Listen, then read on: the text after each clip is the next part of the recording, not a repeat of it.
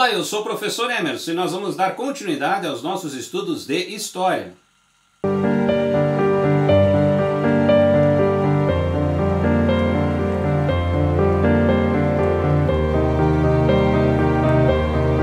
Prezados alunos, é um grande prazer estar aqui novamente com vocês e nós vamos então dar continuidade aos nossos estudos de História. Hoje estaremos discutindo uma temática importante dentro do cenário da história que é a alta e a baixa Idade Média, onde a concepção de características importantes fazem essa diferença entre o que foi primeira fase e entre o que foi a segunda fase. Dentro dessa relação estaremos apresentando cinco características importantes aqui para então conhecermos um pouco mais sobre esse tema tão importante para a história. Aqui nós trazemos então a concepção da Alta Idade Média, que se inicia em 476 a 1100. E a Baixa Idade Média, que se inicia em 1100, ela vai até 1453. Então, quebrando um pouquinho aquela lógica, nós iniciamos essa fase com a Alta Idade Média e passamos da Alta para a Baixa Idade Média o que é uma concepção importante para compreendermos então esse processo que se constrói na Idade Média. Vamos então para a nossa primeira característica.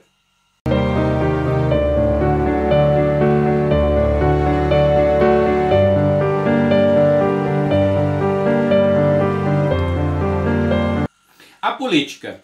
A política ela se diverge basicamente, de todo o processo anterior que se construiu na Antiguidade.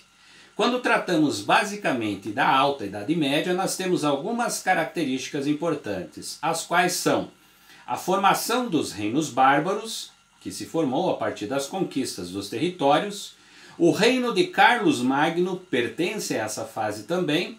Nós temos o apogeu dos árabes bizantinos, e bizantinos, né, que faz parte também desse cenário, ou seja, da Alta Idade Média, e nós temos a formação do feudalismo, que se faz principalmente dentro dessa fase da Alta Idade Média. Para a Baixa Idade Média, nós temos então as Cruzadas, que vão fazer parte desse cenário. Nós temos a Guerra dos 100 Anos, que é entre França e Inglaterra, que também é um aspecto extremamente importante que se faz dentro dessa estrutura. Nós temos a formação do parlamento inglês, que se faz diante de toda uma concepção é, a partir do absolutismo e contradizendo o absolutismo também. E nós temos o auge, o declínio do feudalismo político existente na Europa. Vamos então à nossa próxima característica,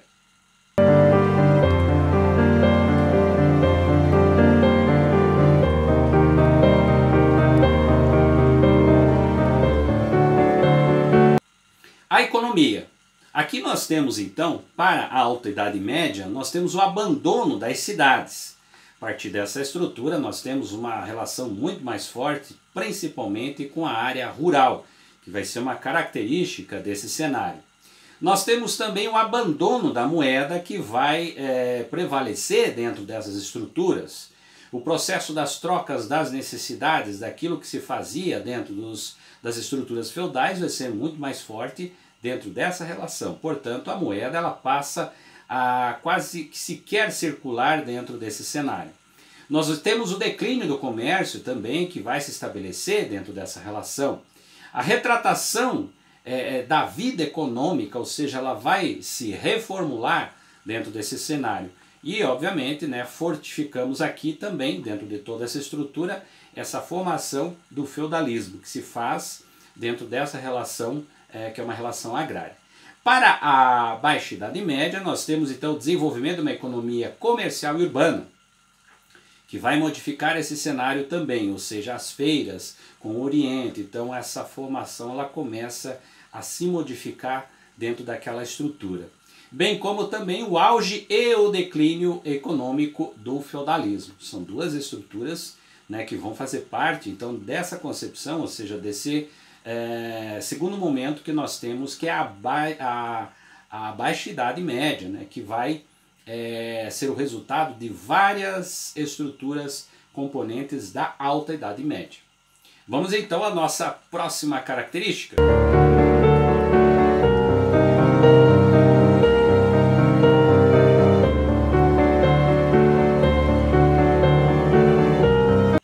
A sociedade. A sociedade ela vai apresentar também características diferenciadas dentro desse cenário. O declínio da vida urbana, ou seja, como falamos anteriormente, nós temos uma relação muito mais forte dentro das características rurais que vão se estabelecer dentro dessa fase. Os costumes rudes e grosseiros, que vai ser efetivamente uma das relações que se faz principalmente pelos povos bárbaros que vão dominar esses territórios, antes de domínio romano, principalmente. Outra característica nós temos também a instabilidade social, vai ser uma relação dentro desse cenário da alta Idade Média, ou seja, esse processo de formação e auge que nós temos aqui que citamos para vocês.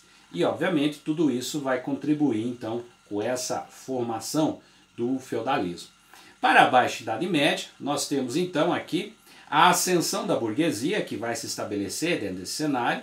Então nós temos uma, uma classe que não é a classe dos nobres, que vai ser a classe que vai efetivamente se decorrer a partir de comércio, de posse, que vai crescer dentro dessa sociedade.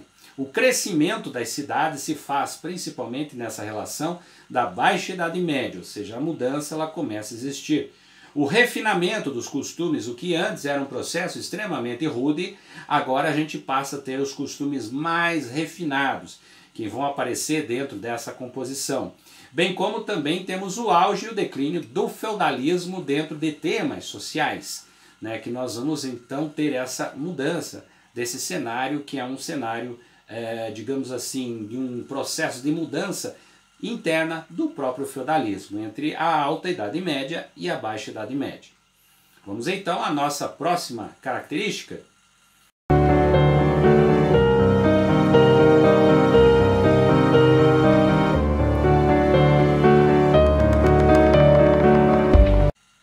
Religião. Dentro da religião, nós temos aqui um cenário muito importante dentro da Idade Média. Ela vai ter um espaço assim muito grande dentro de duas estruturas, ou seja, da própria alta e da baixa idade média. A religião ela se faz presente dentro desse cenário. O que nós temos aqui que é uma característica, ou seja, o apogeu do monastismo, isso vai ser um processo extremamente importante. A rigidez dos hábitos religiosos, ou seja, aquele princípio já de uma formação do catolicismo que você vai ter, do cristianismo, ele vai aparecer dentro do cenário de uma forma muito forte, assim, presente na sociedade e presente na vida das pessoas.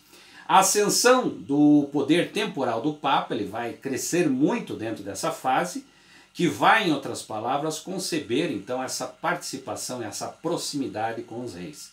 Bem como também a cisma do Oriente. Então estamos dentro de um processo também de separação que vai existir dentro dessa relação. Quando tratamos da Baixa Idade Média, nós temos o surgimento de ordens religiosas que vão aparecer dentro desse cenário, dos dominicanos, beneditinos, franciscanos, templários, ou seja, diversas ordens que vão estar presentes aqui dentro dessa fase, principalmente pela relação das próprias cruzadas que ocorrem também nessa fase. Nós temos o auge e o declínio do poder papal, então nós temos alguns momentos que é abalado esse poder do Papa também, dentro dessa fase da é, Baixa Idade Média. Bem como também nós temos aqui a teologia tomista, né, que vai tomar um espaço, ou seja, nós estamos falando é, principalmente das questões de uma intelectualidade dentro da igreja que vai se estabelecer dentro desse cenário aqui.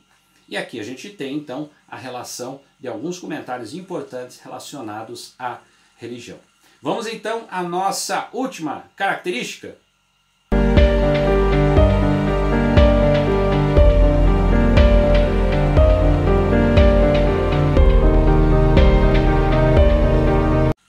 a arte e a cultura. Aqui nós estabelecemos também um pensamento, principalmente relacionado então à alta eh, Idade Média, onde você vai ver um declínio cultural muito forte. Então, pelo próprio domínio da religião, você tem alguns espaços culturais que eles não vão se estabelecer dentro desse, desse cenário. Bem como nós temos então uma educação monástica que vai eh, se construir dentro desse espaço aqui de uma forma muito intensa. Uh, a filosofia patrística ela retoma também, né, através do pensamento da própria igreja, absorvendo alguns conhecimentos daquilo que se produziu na filosofia da antiguidade. E bem como também a arte romântica, ela começa efetivamente a ter um espaço aqui de uma forma extremamente tímida, mas ela surge dentro desse cenário.